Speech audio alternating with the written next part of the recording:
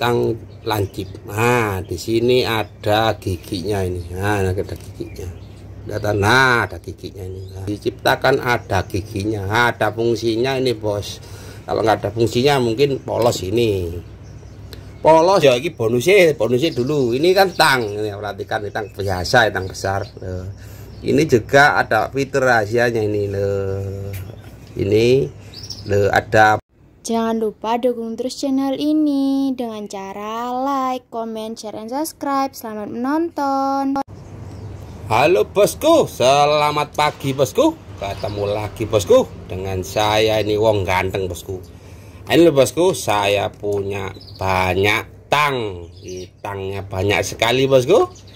Ini saya mau kasih tutorial bosku.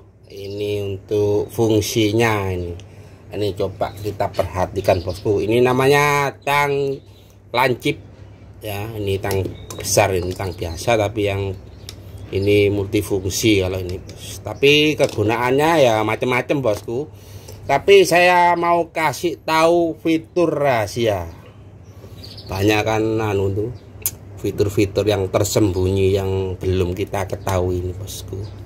Saya mau kasih tahu fitur rahasianya ya fungsinya ini. Nah ini bos.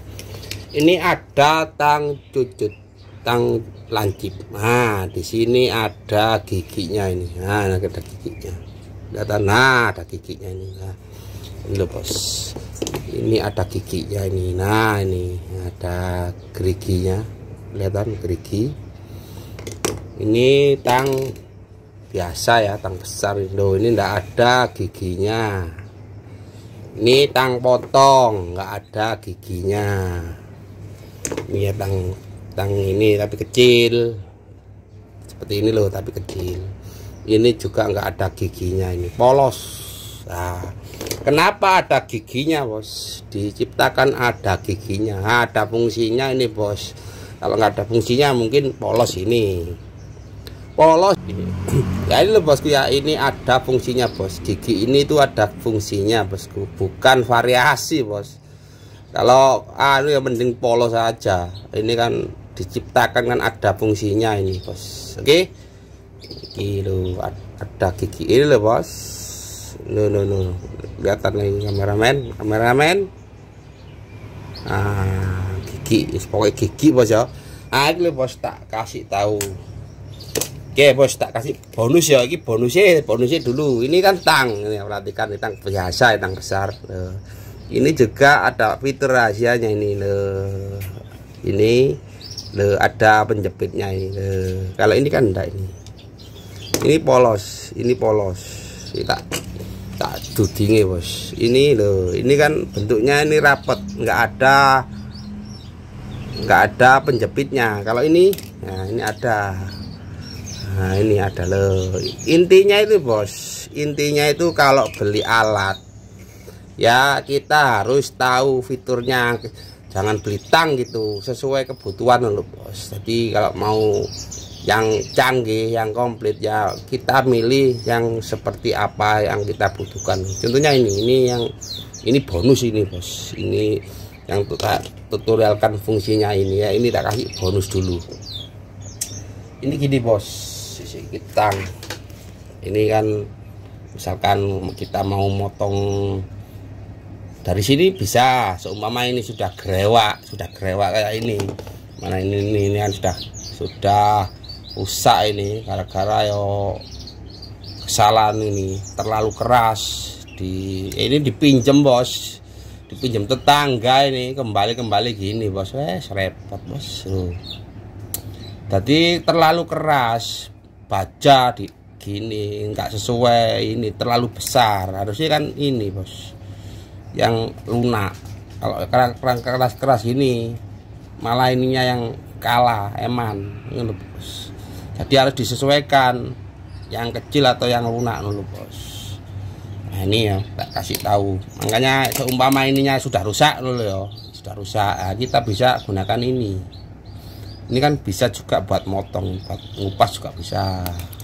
Tergantung kita kemahirannya harus diasah. Ini buat motong ini bisa. Tuh tong motong. Nah, semua ininya rusak kita bisa pakai yang ini. Ini masukkan saja nggak usah sungkan-sungkan nggak usah sungkan-sungkan bos. Ini tuh tuh tuh tuh potong oke? Gampang kalau bisa. Kalau nggak bisa nggak tahu fungsinya. Yo nggak difungsikan eman-eman. Misalkan ini sudah rusak ini jangan dibuang ini rusak jangan dibuang bos. Bisa difungsikan ini. Misalkan rusak punya satu truk. Ya juga laku bos. Ditimbang di kilo kan. Ini besi. Rusak semua hancur. Jangan dibuang disimpan di kilo payu. Laku bos. Di kalau ini ini rusak lo rusak. Tapi ya bisa fungsi bukti buktinya lo bisa fungsi lo jangan dibuang. Kalau ini buat motong tidak iso lo tidak bisa. Lo bos. Kalau ini bisa. Semua ini rusak. Sudah rusak. Ini sudah rusak. Ini rusak. Rusak semua. Jangan dibuang. Dikumpulkan di kilo. Payu bos. Ini kan besi ini kan nanti dibuang plastiknya. Plastiknya dikumpulkan juga laku loh. Bos ini kan casing aja ini tapi alat bos. Bisa dilepas ini bisa dilepas. Loh bos. Ini tang potong gak tutorialkan bos. Ini fungsinya untuk memotong aja ini. Nggak ada fitur lain ini lu nggak ada fitur lain. Khusus spesial motong. Ini ya. pokoknya hati-hati jangan sampai rusak sampai grewak jangan sampai tebal. Eh jangan sampai luka ini. Kalau luka nanti nggak tajam. Ini bos tutorialnya bos. Bukan nggak lama-lama iki. Gigi ini. Nah kalau ini baru bos. Eman ya simpen aja si baru ru. Eman guys jahit yang aja ya yang jelek fungsinya bos. Kita kasih tahu. Ini kabel. Saya kan tukang teknisi kelistrikan bos. Jadi kita tutorial untuk kelistrikan. Kalau anda misalkan elektro ya mohon diinfo untuk elektro ya fungsi-fungsinya kan lain-lain bos. Misalkan anda teknik bangunan ya fungsinya untuk apa kan? Dia lebih spesialis biar dijelaskan. Kalau saya kan saya beli ini khusus untuk perbengkelan ya, kelistrikan. Jadi tak tutorialkan untuk fungsinya untuk kelistrikan. Ini ada sekun. Ini sekun. Sebentar lagi ntar ya. Ntar, ini juga ada sekun. Ini bos. Ilmu lagi bos. Iya kabel. Ini kabel ini ya potong dulu. Potong pakai gunting juga bisa. Pakai tang potong juga bisa. Yang penting yang gini. Pakai ini. Kalau sudah nggak tajam ini nggak iso. Tuh nggak iso. Sudah. Ininya kan rusak ya. makanya ini tak fungsikan ini untuk mengupas saja ini. Tak fungsikan untuk mengupas saja. Karena sudah nggak tajam. Kalau buat motong nggak iso loh kalau motong yang ini yang baru ini bisa lah yang baru. Oh, baru. Baru. Alat yang rusak jangan dibuang. Ini kan rusak. Kita fungsikan untuk mengupas saja. Kupas gini. Nah. Kita tekuk bos. Karena kabelnya kecil. Ini saya tutorialkan untuk yang gigi ini loh bos. Gigi ini. Nah, fungsinya untuk apa ini untuk masang skun. Skun skun cewek. Karena kabelnya kecil kita tekuk. Kita pasang di sini. Oke kita cepitkan ini. Kemudian ini sudah kenceng ya pastikan kenceng. Pastikan kenceng. Nah ini kita balik ini. Nah kita lipat lagi. Nah ini kan masih kelihatan kenceng tapi kendor. Nah fungsinya itu ini. Kalau pakai ini juga bisa. Pakai ini. Pakai ini lebih kuat karena giginya bentuknya garis-garis gini. Nah garis-garisnya tajam. Kalau ini kan sudah sudah halus. Ini masih tajam kita pakai ini. Ini kan jarang difungsikan. Makanya kita pakai yang ini. Ya. kita kencet. Hmm. yang jelas ini rapet. Hmm.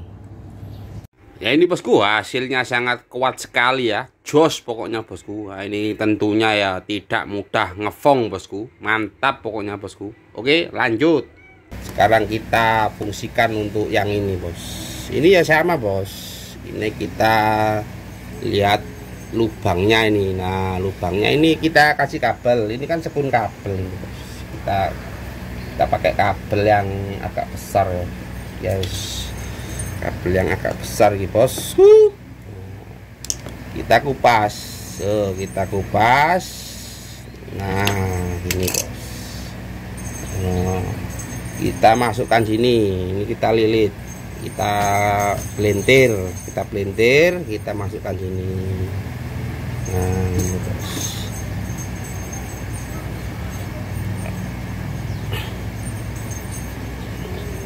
nah kita masukkan sini bos.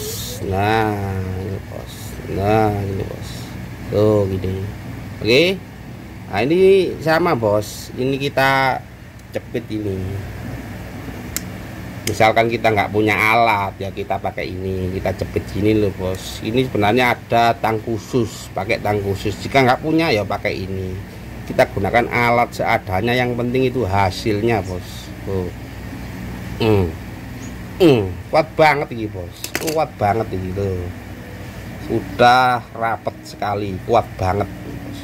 misalkan ini bos. Ini sudah ya. Misalkan ini iya juga sama ini. Misalkan kita mau masang sekun ini sekun lubang ini ya. Kita pakai misalkan kita pakai dua kabel. Ini tak potong dulu. Tak potong dulu. Pakai gunting boleh tang boleh. Bebas los. Yang penting iso. Kuasailah alat anda. Kita potong segini. Yuk, kita potong segini terus kita cepas kan ada itu biasanya satu satu sekun dua kabel kan ada itu bosku. Nah, ini kita kita rangkep. Kita masukkan. Kita masukkan sini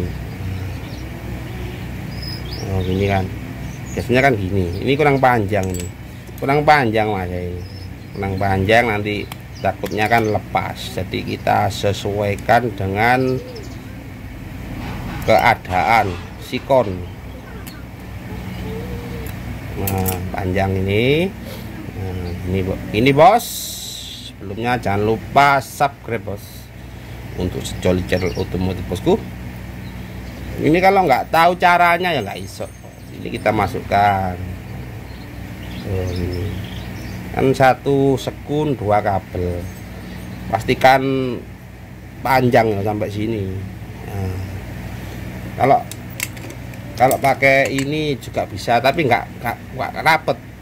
Masih kuatan sini. Hasilnya itu kuatan di belakang ini. Yang pakai gigi belakang ini. Langsung aja biar nggak susu nah ini. Nah ini kita pegang kita tekan ini tekan. Nah jangan sampai mundur. Kita kencet. Nah. Nah kan sudah gini. Kita tangan dua. Pakai dua tangan kita kenceng lagi. Sekuatnya bos. Tapi jangan lupa sarapan bos ya. Lek belum sarapan gini ya tidak rapet bos. Tenaga ya penting bos. Hmm. Dengan rapet. Tambahi sini belakang ini ini uh. Uh. harus kuat hmm kuat ini bos oh sampai cemet ini bos kalau nggak yakin tambahi mana bos hmm tambahi lagi bos Oh, jos mantap. Oke. Kuat ini bosku. Nah, sebenarnya alat untuk menjepit sekun seperti ini itu ada alat khususnya bosku. Nah, berhubung kita seumpama nggak punya ya pakai tang seperti ini bos. Kan banyak kan kalau tang yang sudah rusak-rusak itu kebanyakan ininya rusak ininya sudah mencong. Cucutnya ini loh mencong kayak ini kan mencong-mencong seumpama rusak mencong. Nah yang ini kan masih bisa digunakan bos. Yang yang sini kan jarang rusak yang sini tuh. Yang biasanya rusak itu depan ini sama ini sudah bengkong-bengkong loh bos. Makanya jangan dibuang kalau rusak ini bos. Bisa bermanfaat masih bermanfaat yang belakang ini. Mas sudah hancur rusak ya jangan dibuang. Ya kita bisa kilo kita rombeng kita timbang masih laku bos. intinya ini untuk menjepit untuk menjepit sekun-sekun seperti ini ya pastikan yang kenceng bos. Pastikan yang rapet. Ya pakai tenaga bos. Hmm, kan pol ya rapet ini kuat. Oke? Nah misalkan gini bos. Ini pasang sekun ya. Iki sekun sekun sekun. Ini tak potong ya kabel tak potongnya mas ya. Sama aja bos caranya bos. Kalau ini yang nggak ada gigi eh bos gigi eh, ini. Polos. Kalau ini polos. Ini khusus buat motong buat motong tok ini sama ngupas bisa.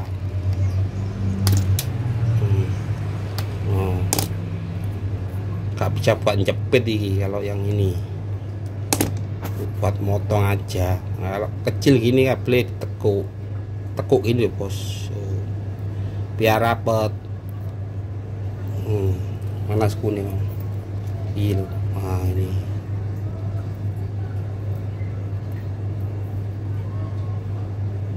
Oh